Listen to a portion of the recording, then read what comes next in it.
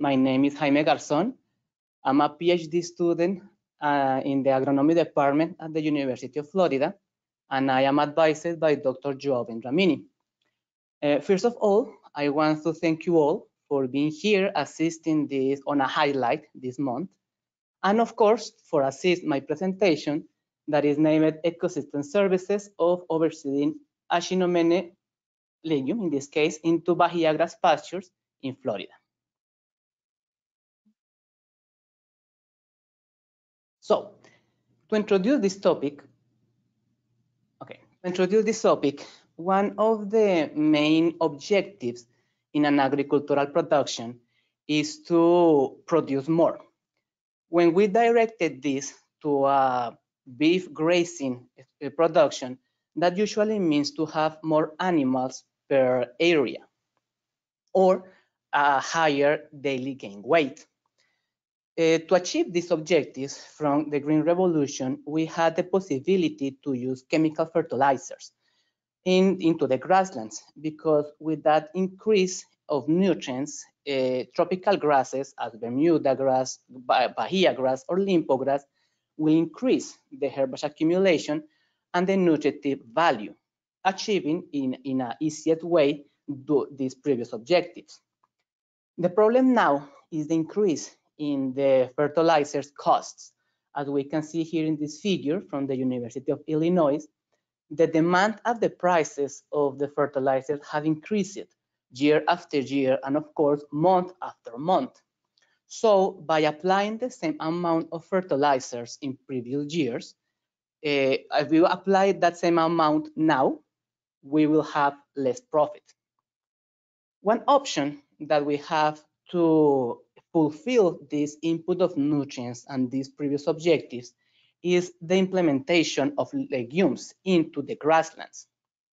This is not a new topic, actually has been studied from many years ago, but usually those research was centered in the productive variables. That means forage yield and nutritive value. And nowadays, we know that those uh, variables, those responses, are inside the provisioning category of all the ecosystem services that the grasslands and the legumes can provide to our system.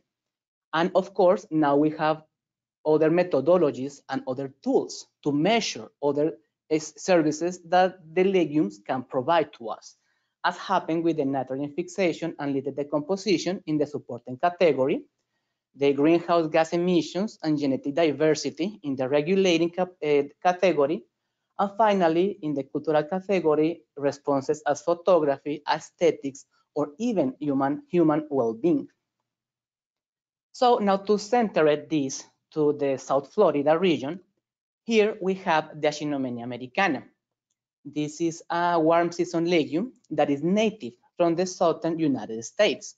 We can find that uh, in, in the field naturally in Florida, Georgia, Alabama, and Louisiana. And usually in nature, this legume is a subshrub that can reach one to two meters height. But in a productive way, it's only used in the south of Florida and in some regions of Louisiana. It prefers humid and light acidic to neutral soils. That means that in the field, you will find that in, in shallows or in wet soils. And it, and it is annual. That means that we are depending of the reseeding capacity of this legume to have a good persistence year after year. Another names that we could uh, know this legume is joint vetch, deer vetch, or shy leaf. And because it's, uh, it's from warm seasons, usually grows starting in April, March until October, in where it start to bloom and produce seeds for the next year. As I said before, uh, the, the studies with this legume is not something new. Here, I, I put three examples that we have of, previous studies working with Aeschynomene. The first one is was a study performed with only Aeschynomene by Mislevy and collaborators in 1981. The second one was a mixture between Aeschynomene plus Limpo grass. In this case was Sollenberger and collaborators in 1987, and this experiment was performed in Gainesville. And finally, the Aeschynomene plus Bahiagrass, the third experiment that was performed in 1983. And this one are the same with the first one, the Mislevy experiment. Both experiments was perform were performed in the Range Cattle Research and Education Center at ONA. So looking the results in the first experiment with only Aeschynomene, we could see that the legume by itself will accumulate approximately 2.1 to 2.6 tons of dry matter per hectare per year, with a good amount of crude protein going to 15 to 20%, and also a good digestibility. When we measure these variables, but now including the Aeschynomene into a grass pasture, the responses will change a little because here in the second experiment with the Aeschynomene plus Limpograss, we could see an increase in the forage accumulation, but a decrease in the crude protein. Uh, in this case, of course, the increase was due to the Limpograss, but also if we compare, because they did that as well in the experiment, they also look at how much crude protein the Limpograss was offering to the system by itself. And in that case, was only 4%. So actually, when we include when they included the Aeschynomene, the crude protein concentration increases from 4 to 8%. Similar situation happened with the Aeschynomene and Bahia grass, because in here we have also an increase in forage accumulation due to the Bahia grass, of course, and also an increase from 7% of crude protein by only Bahia grass to 9.6 in the, in the plots with the association, and increase also in the digestibility from 41 to 46.4% of digestibility. So knowing this, uh, the idea that we have from, my, from our experiment of that is part of my dissertation, dissertation thesis was to quantify the effect of Aeschynomene overseeding and nitrogen fertilization on forage characteristics, nitrogen fixation, and nitrous oxide emissions in Bahia grass pastures. Uh, in my dissertation, we are measuring other ecosystem services, uh, but uh, for the presentation, I will focus on these two besides the forest characteristics. This experiment was performed in the Range Cattle Research and Education Center located at ONA in Florida, in the South Florida. And the experimental period was from April 2019 to October 2021. The idea was to perform this experiment in two years. And for that, we chose as well two different areas to try to avoid that accumulative effect and also to check differences between years. Uh, in this case, of course, to maintain like the, the differences between treatments, which look at from areas that have similar characteristics. And we found two areas, uh, both, are Pomona fine sand soil series with a low pH, low uh, concentration of phosphorus, medium concentration of potassium and magnesium, and high concentration of calcium. To imagine the experimental design in this experiment, in each, each year, in each area, we have a very big uh, area of established Bahia grass. Actually, those Bahia grass was established like 15 years ago. Inside that area, we imagine the plots that we will deploy it. And with that, we randomly select those that will that have the Aeschynomene overseeding. So in this point, we have some plots with only Bahia grass and other plots with Bahia grass plus Aeschynomene. And finally, the nitrogen fertilization was another important treatment in our experiment. To install that in the plots, we divided all the plots in half and we uh, randomly select those spaces that will have the nitrogen fertilization. At the end, in summary, we have four experiments, four treatments, sorry. The first one is was Bahia grass alone. The second grass, Bahia grass plus nitrogen fertilization. The third, Bahia grass plus Aeschynomene.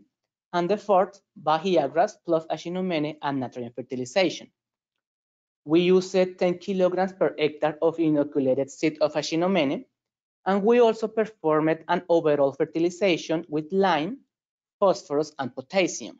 This with, with the idea to improve the establishment of the legume. And of course, we have our treatment with 60 kilograms of nitrogen per hectare. Now, to see the results, the first one was the forage accumulation. To measure this variable, we performed our first harvest two months after the seeding of the Aeschynomene. Uh, after that, we, uh, we performed the uh, clipping at 15 centimeters of stable height, and that was the value corresponding to July. After that harvest, we applied the nitrogen fertilization, the nitrogen fertilizer. We waited 35 days, and we did again the harvest. And we repeat this process in September and October. As we can see here in the figure on the left, the forage accumulation was affected per month per the harvest time because in August we could see an increase in the forage accumulation and that was probably due to the nitrogen fertilization that happened in July. And of course, in, uh, in the graph on the, on the right, we are seeing that the fertilization has an effect in, in this variable because those plots that were, that were fertilized produced approximately 200 kilograms of dry matter per hectare in comparison to those without the fertilization. And when we calculated the annual forage accumulation, the accumulated one, we could see that the plots with nitrogen fertilization produced 800 kilograms of dry matter more than those without the nitrogen fertilization. Now, see, uh, this first variable, this first figure was showing the overall forage accumulation. But now we are seeing here how was the Aeschynomene behavior, the Aeschynomene proportion in that same time. And in here we could see that the tendency that we have uh, across the months was different, as happened with the whole plots, including the Bahia grass.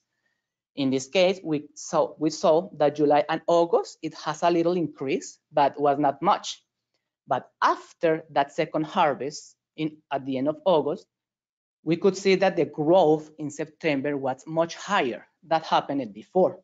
And that also increased a little more in October. Uh, the explanation for this is because Aeschynomene, as a legume, usually has vertical growth. At the moment when we cut that uh, top of the, of the plant, we are stimulating the lateral growth of, the, of this plant. And with that, we are increasing the number of stems and the number of leaves per plant. So actually, this will affect as well the herbage accumulation with the only Aeschynomene. In result, Aeschynomene produced 311 kilograms of dry matter per hectare per year, regardless the nitrogen fertilization. Uh, in this case, this value was kind lower than those we looked at in previous in previous investigations, but this could be due to characteristics in the soil and also by the competition that Bahia grass produced into the legume, especially at the second year of evaluation. Now, talking about nutritive value, first of all, we have the digestibility, and, in, and with this treatment, we could show that was, was not this response was not affected by any of the treatments. That means that the plots maintained 47 to 50% digestibility in all in whole time.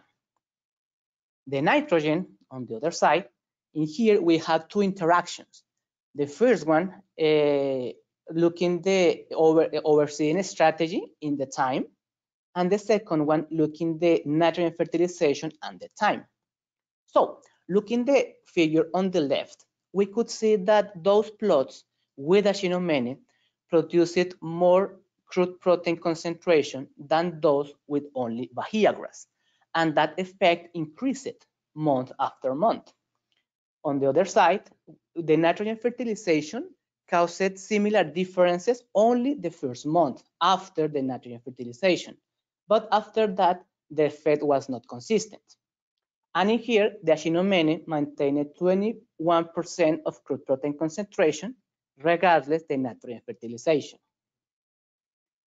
For the nitrogen content, now we are referring to how much kilograms of nitrogen we are having in those hectares, in those areas per harvest. And in here, we could see the, a similar tendency that we saw before in the figure of forage accumulation. Having a similar concentration of crude protein by the Aeschynomene, so the, var the variability, the differences between months will be was driven by the forage accumulation. And we could see that again in August was a higher nitrogen content and that decreased month after month.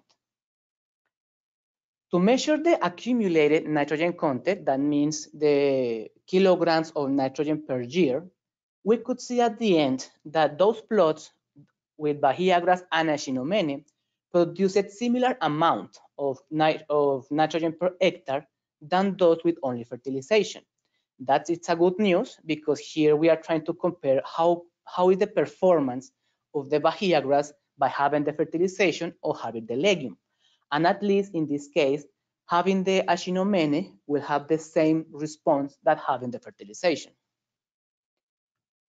The other, the other uh, service that we measured here was the nitrogen fixation.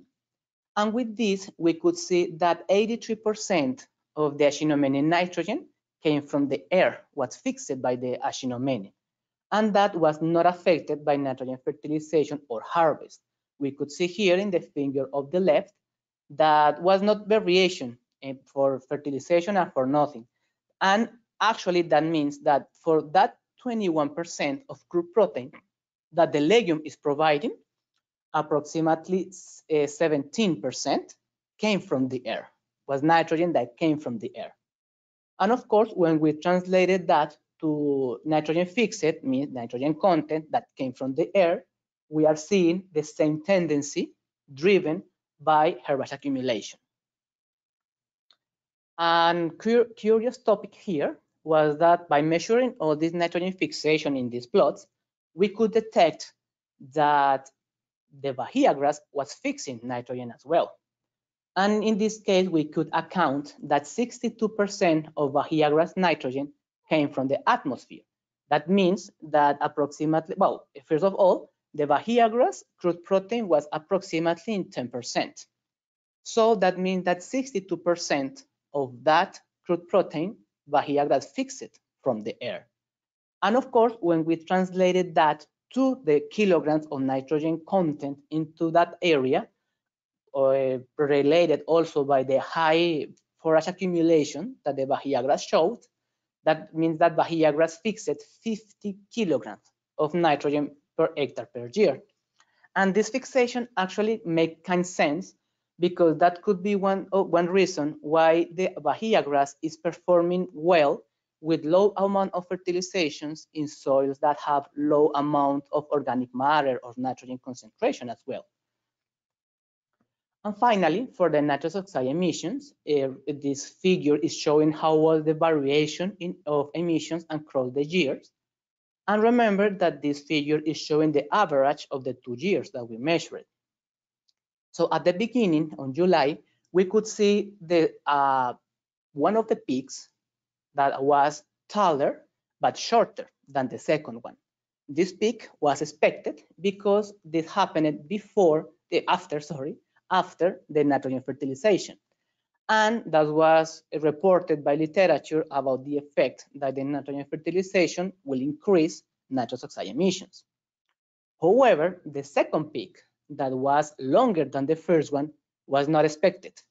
So due to that, we had like to look and try to find some relations between other variables to try to explain why this second peak happened. And at the end, we could relate it with the soil moisture. Uh, here we could, we could see that was an increase in the moisture of the soil approximately in the same moments that this second peak happened. And actually, Eh, eh, according to the literature, when, as, when the soil moisture is going up to 60%, that will increase the nitrous oxide emissions. And if you can see inside the green rectangle, the moment when the soil have that high humidity, the second peak happened. Another effect that we could discover here is that if you remember with the herbage accumulation of Aeschynomene, on September, that huge growth happened with the Aeschynomene only. So actually, in this case, we could we maybe are seeing a combined effect with the humidity of the soil, because Aeschynomene likes wet soils, and also the effect that have bigger amount of Aeschynomene fixing more nitrogen to the soil. That will represent at the end more nitrous oxide emissions. So at the end, knowing that this the effect that this legume is causing, we calculated the accumulated nitrous oxide emissions per year. And in there, we could see, uh, we could see that those plots with association with Bahia and Aeschynomene produced a similar amount of nitrous oxide per year than those with only fertilization. Finally, to conclude, we could see that according to our results, overseeing Aeschynomene into Bahia grass pastures increased crude protein concentration and causing no differences in forage yield, probably by the botanical composition. Aeschynomene was effective to fix biological nitrogen and the magnitude of the fixation was driven by herbage accumulation. And finally, overseeing Aeschynomene increased the same amount of nitrous oxide per year than nitrogen fertilization into Bahia grass pastures. Well, thank you very much for your attention. Uh, here you can see my email if you want to make some questions uh, after after the Ona highlight, or as Andrea said, you can type it in into the chat and we answer it after the announcements.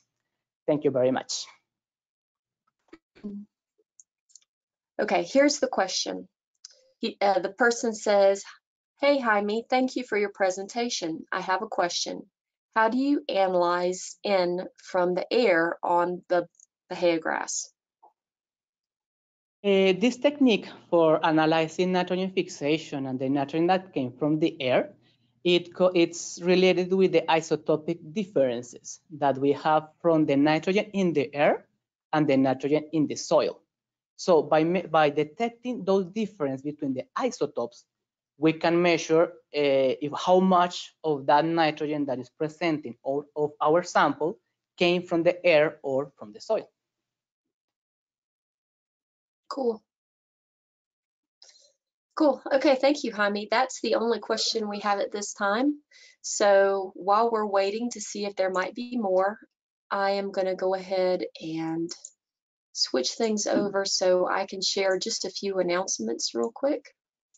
First of all, we'd like to welcome you to join us back on April the 12th for our next ONA highlight. That is going to be a special feature of the South Florida Bee Forage program and a couple of the new extension agents, Allie Williams and Sherry Trent, will be presenting collaboration, communication, and education enhancing Florida's livestock industry through the South Florida Bee Forage program. Allie is a small farms and alternative enterprises extension agent with Hillsborough County, and Sherry is a 4-H and agriculture agent with the Seminole Tribe of Florida. So that is going to be the 12th of April, and they will be on site here at the Research Center to present. The next program I'd like to share is the upcoming environmental lands management um, function that's going to happen here at the center March 31st, a full day program I'm not sure when registration ends, but it might be coming up um, fairly soon. The fee is $50. And as you can see on this flyer, there's going to be some great speakers. Meal is going to be included as well as a tour of the center. So that'll be a great program to join if you can and register on Eventbrite. Another great event that's going to be coming up this summer is our Youth Field Day. And we have a plan in place. Um, if you know someone that might like to come to this, take a quick screenshot or a photo of this little bit of information to share with them. We will have the flyer ready in April and registration is going to open May 1st. And um, as always, our goal is to excite students about agriculture and science, to reveal future opportunities in those fields, fields for them, and to foster a love of learning which will promote agriculture and good stewardship in this and future generations. And so as you see here, um, some of our sessions, the invaders, drones and science, do all grasses taste the same, supplementation evaluation, watershed hydrology, and water quality. And we're going to have another educational expo and hoping, weather permitting, that the forestry department can be with us um, to teach a little bit about um, fire and its use in land management and to do a controlled burn, weather permitting. Also on this is a few photos from last year's Youth Field Day. If you're not already doing so, please follow us. Uh, uh, showing now is our website as well as social media. You can follow us on Facebook and Twitter and YouTube. And if you don't already get our Friday email news blasts, send us an email to ona at ifas.ufl.edu to get on that email list. And each Friday, you'll get an email with upcoming events, things that have recently happened, awards, those kinds of things that we just want to share with you guys that might be beneficial to you all. So now I am going to um, close that off. And let's see, stop sharing my screen and go back and see if we have any more questions.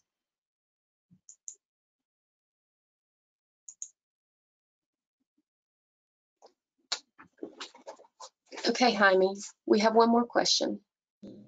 Oh, we have a few questions. All right, let me make this a little bit bigger so I can see all of them. All right, so let's see. Okay, so here's another question. Again, congratulations on your presentation.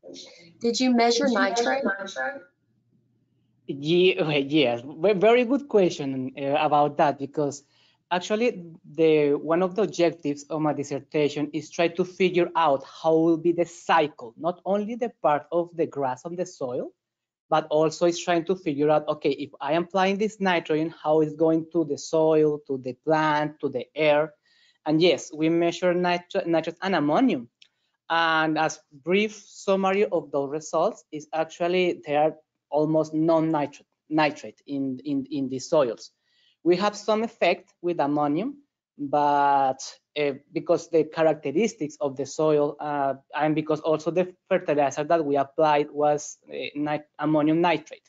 So actually we were expecting to have that increase in nitrate, but was only and was effective only the next month after the application. And after that, the nitrate apparently almost disappeared, was lixiviated probably.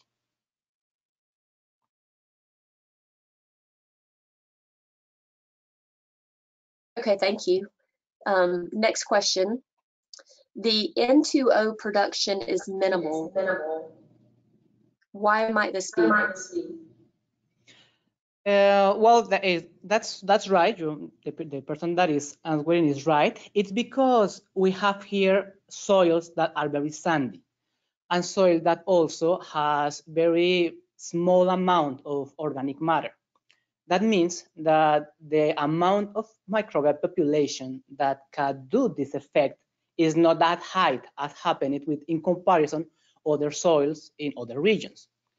Besides, remember that the amount of nitrogen that we are applying here is a low rate of nitrogen fertilization.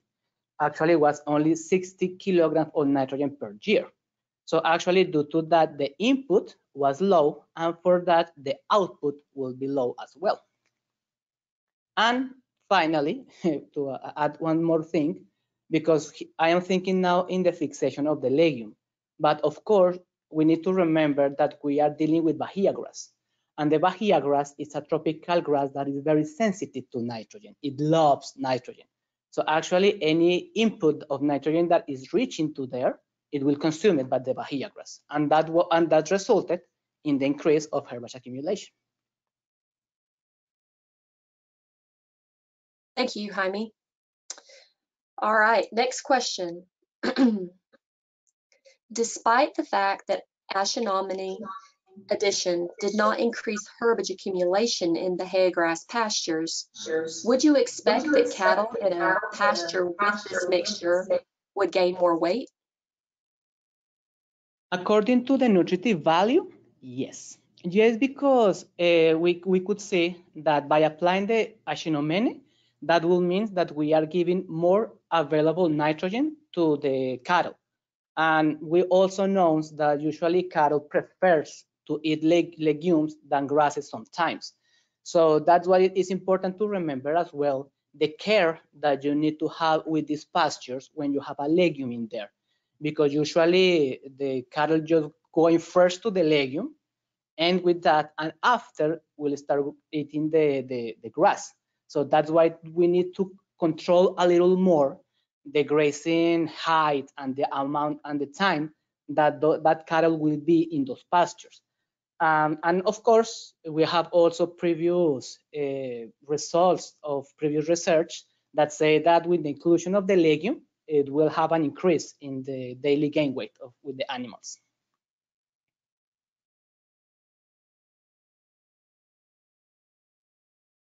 Okay, thank you. Next question. Next question. Great job, Jaime. Since you've almost completed all of your research on this, what is your take-home message for producers? More specifically, what would you, why would you recommend the practice of overseeding Aeschynomene to producers? Obviously for the reasons you've already mentioned, but are there others? Well, I think that I, I made kind of summary of that reasons when I presented the slide with ecosystem services because the, the inclusion of legumes in grassland is an option that we have. Of course, as every other option, it has good things and bad things, something that challenges that we are expecting and we need to improve. But it's an option that we have, and not only because we are here affecting and try to improve the delivery of nutrients to our cattle, but also because in that way we are trying to do more resilient our system and our production on time. Nowadays, we know that we that the implementation of the legume will help to make more stable the production in between years by genetic diversity and other ecosystem services that the legumes are introducing to this system. So actually it's like the main reason.